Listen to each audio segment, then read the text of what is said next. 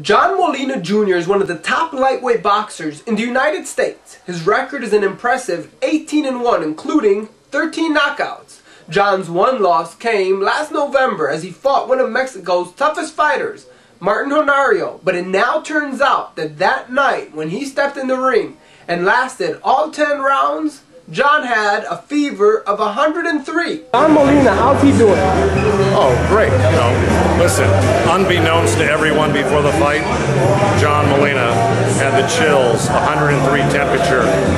I had called the promoter that day to say, look, I don't know if this kid's going to be able to fight. He was so sick. He deterred. John did not want to see the doctor that day. He was determined to fight. He Took a shower a couple hours before the fight. Thought he felt better you know, that's a tough decision to pull the plug on a Showtime bout because you're sick. You know, sometimes you got to fight through the things. Almost every fighter that's made anything of himself has fought through lots of sickness, including the night of the fight.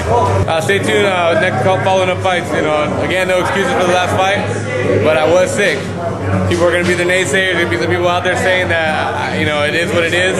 I don't want to make an excuse. Honorio fought the fight of his life when I fell at 30%. You can take it any way you want to take it, but coming up soon, right, follow me up. It taught us something. We're going to grow from this. It wasn't like John got beat uh, you know, by a superior guy that beat him up. And uh, you know, a lot of people thought John got cut in the in, in the in the eye right here, and that blood was off of uh, the kid's head. The only cut that John uh, sustained was in his lip because he could barely hold his mouthpiece in. But uh, we went through it. Um, it was a tough pill to swallow, but John was gracious at the uh, at the interview and, and said, you know, let's focus on Martin's good win instead of making excuses. Although Pacquiao, totally Cotto, sick. Mosley, De La Hoya, everyone lost at some point. It doesn't it doesn't make you, it just can make you stronger. You come back in, you work, and in this circumstances, it wasn't that he fought bad, he was sick. What can you tell me about John Molina? He's a cool, cool people. Man. At the weigh-in is when it hit him. Um, and then uh, the, the night of the fight, I mean, you know, he drank a half a bottle of Dayquil going in, and uh, he had uh, some airborne, but he was so medicated, his body was achy, a sore throat, but we couldn't pull out because, you know, you got a packed house, a main event on Showtime. And John told me and Joe that he felt like he could go. So uh, even though me and Joe thought otherwise, um, you know, you saw the outcome. John, uh, you know, he went out there and, and, he fought basically at, you know, 30% of himself. Uh, the frustrating part was, you know, I, I, believe and John believes he could have took this kid out within five rounds. That was a that was an aberration. Uh, John was terribly, terribly sick, and people were calling me, "What was wrong with John?"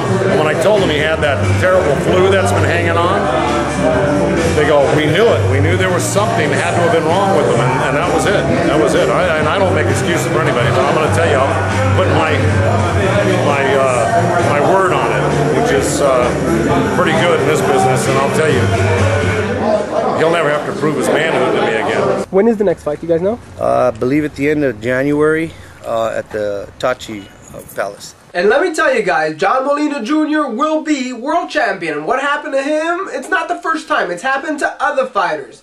Boxing is a very individual sport. In basketball, if you're sick, Kobe Bryant's sick, somebody else on the team could pick up the slack. But in boxing, it's an individual sport. And if you get sick, you catch something on a plane, uh, you get the bug the night before, there's not much you could do. In Los Angeles, I'm Seckbach, reporting.